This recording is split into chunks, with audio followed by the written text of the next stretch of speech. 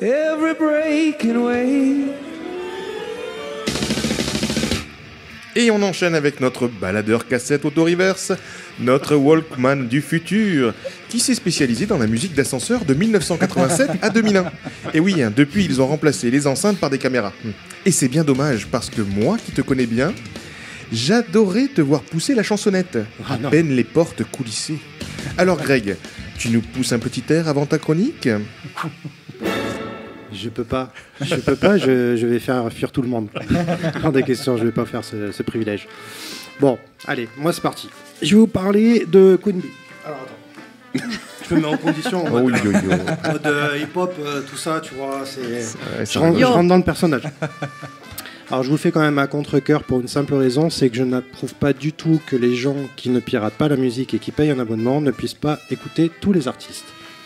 Je vous la fais courte, à les entendre, il faudrait payer 10 euros pour iTunes, 10 euros pour Spotify, 10 euros pour Deezer, 10 euros pour Tidal et encore acheter un CD à 20 balles alors qu'on n'a même plus de lecteur. Ouais. Voilà, on serait un, un peu euh, en train de Oui, se foutre cher. de nous là quand même. hein, euh. Alors bon, on nous incite tout simplement à pirater autant que les taxis nous incitent à prendre des Uber. Ah. bon, ceci dit, euh, eux, je les remercie parce qu'au moins je leur filerai plus un centime. ok, alors, une fois ma crise d'ado passée, je vais enlever ça parce que c'est un peu stressant. Je suis parti chez un collègue pour écouter ce fameux euh, Lemonade. Et en fait, ça m'a vite calmé. Euh, Beyoncé a toujours réussi à nous surprendre. hein. À chaque album, elle nous met une petite claque. Mais là, les amis, c'est carrément un coup de pied au cul. Excusez-moi, hein, je suis un peu vulgaire, mais faut le dire franchement. Alors, sachant qu'il était très attendu, elle a pris de très gros risques. Elle s'est proclamée directrice exécutive du projet. Alors, elle pourra s'en prendre qu'à elle-même euh, si ça marche pas. hein. Ou bien elle peut se la péter encore un peu plus si ça fracasse. Et pour le cas, bah, ça fracasse vraiment. De la musique, comme on entend là derrière, de l'acoustique, de la vraie, épurée, groovy, euh, un peu d'électro, ça claque. Voilà. Alors vous me direz, elle s'est entourée des meilleurs. Ok. Elle parle de ses problèmes de cul avec son géant de mari Jay-Z et ça fait le buzz. Ok. Jay-Z. Mm, et Jay-Z. Mais il n'y a pas que ça. Elle prend euh, un virage un peu à la manière de Rihanna, en sortant de sa zone de confort et en devenant un peu plus underground, tout en rajoutant deux ou trois tubes dans cet album, comme ce- le, le premier qui est sorti, Formation. Et euh, là, je crois qu'il est en train de passer en ce moment Sorry. C'est- Tout le monde a fait des titres qui s'appellent Sorry. hein. Après Justin Bieber, Madonna et tout, là on y passe. Bref. Même Elton John. Ah oui, oui, exact. Alors, il suffit d'écouter euh, Six Inch, c'est mon coup de cœur, hein, ou encore le titre qu'on a en fond qui s'appelle euh, Daddy, Daddy Lessons, décidément. moi, Quel anglais. dire. Voilà, très texan, hein, histoire de rappeler ses origines, pour comprendre que la Queen Bee ne se satisfera jamais de ses acquis. Alors, bonne ou mauvaise chose, à vous de me le dire. Ça ne réussit pas à tout le monde. hein. Madonna en est un bon exemple. hein. Quand elle a voulu virer, euh, elle a fait de belles, euh, belles fautes. Bon, alors pourquoi Beyoncé est partie dans cette direction? Comme si elle avait besoin d'écrire ses problèmes sur un papier et d'exposer tout ça au public pour humilier Jay-Z. Mais alors, pourquoi lui donner les pleins pouvoirs de la promo à ce moment-là? C'est pas très logique, parce que c'est quand même le patron de Tidal, là où c'est en exclusivité, je rappelle pour ceux qui ne sont pas au courant. Alors, elle nous parle aussi de son engagement euh, féministe ou euh, pour la cause noire. Elle fait aussi semblant de lire Le Figaro dans un clip. Ah, malheureusement, j'ai pas pu voir les clips euh, rassemblés dans, dans le film qui a précédé la sortie de l'album.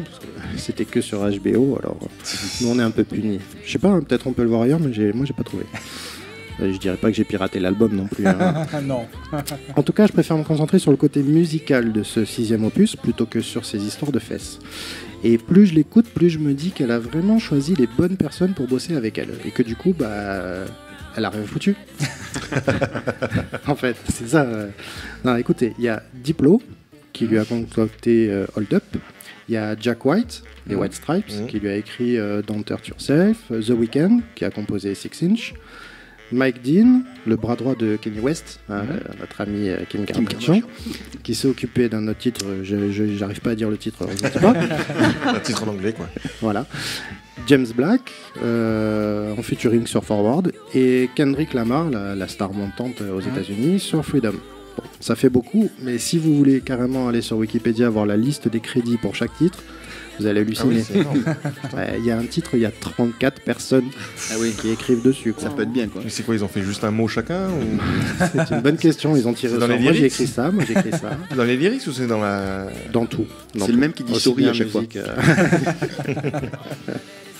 Alors, euh, bon, en même temps, on a l'impression qu'elle était aussi un peu trop fragile pour écrire cet album toute seule, hein, vu qu'elle était euh, un peu en mode euh, je me suis fait tromper, tout ça, c'était pas bien, alors là, besoin c'est d'un pas coup de officiel, main. hein, c'est Il pas a trompé, officiel. Jay-Z?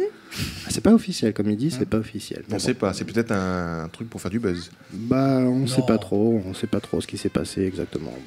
Alors, est-ce que c'est un bon album? Oui. Euh, Ah, Mouille, j'aime bien le mouille. Oui, avec un me. Comme dit mon fils, i. Est-ce que je continuerai à l'écouter dans deux semaines? Sûrement. Est-ce que ça me donne envie de l'avoir sur scène Évidemment, parce qu'il n'y a pas besoin d'avoir cet album. euh, Elle est tellement exceptionnelle sur scène que bah, c'est, Ouais, on a envie d'y aller. hein. Euh, D'ailleurs, je reviens encore sur ce fameux Super Bowl que personne n'est allé voir hein, depuis le mois de janvier que j'en Si, parle. Si, si. Ah, bah tu as vu, elle a fait Non. un petit texte. D'accord, ok. Ok. Euh, Est-ce que c'est l'album le plus abouti de sa carrière? Oui, mais euh, parce qu'elle l'a supervisé et qu'elle s'est bien entourée, comme une bonne chef d'entreprise. Du coup, euh, moi, il me reste un petit goût amer, parce que j'ai quand même l'impression qu'elle a, qu'elle a fait les choses les moins intéressantes pour moi, comme profiter de l'effet de mode de l'adultère, de la politique qui part en vrille aux États-Unis. Et c'est pas c'est pas signe de bonne créativité pour moi. C'est un peu facile. C'est- Elle saute sur sur l'occasion. Alors si c'est pour se la jouer comme notre président et faire croire les plus gros mensonges aux gens au moment où ils ont envie de l'entendre juste pour se faire élire, ben on sait déjà comment ça va finir. hein. Du coup, euh, je me demande si les deux tourtereaux en fait ne se foutent pas un peu de nous pour vendre encore plus d'albums. Non, C'est possible. Ah, hein. t'as l'air surpris, mais pas du tout en non, fait. pas du tout. non. Voilà. Bon, elle peut quand même remercier toutes les personnes qui se sont mêlées à la fête parce qu'ils ont fait un bel album. Elle peut remercier son mari parce que son, son coup de promo est, est fabuleux, hein, ça a très bien marché. Et on peut la remercier pour être une fabuleuse chanteuse et une incroyable showwoman. Mais moi, pour l'instant, je préfère encore les anciens albums. Tout simplement. Un coup de cœur, un cœur, un quiz. Ah, alors moi, c'est un coup de cœur, les amis.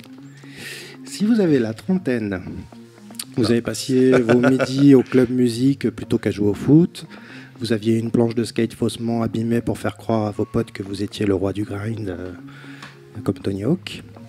Et à vos 18 ans, vous étiez persuadé que la seule utilité du frein à main était de prendre un virage comme euh, Starsky et Hutch.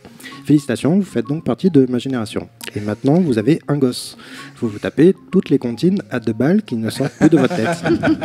Messieurs, dames, j'ai la solution pour vous. Rockabye Baby. Comme on entend en fond. Vous prenez les meilleures chansons de Blink, Sublime, Asdes, Nirvana, Red Hot ou Michael Jackson, Ouais. comme on peut l'entendre.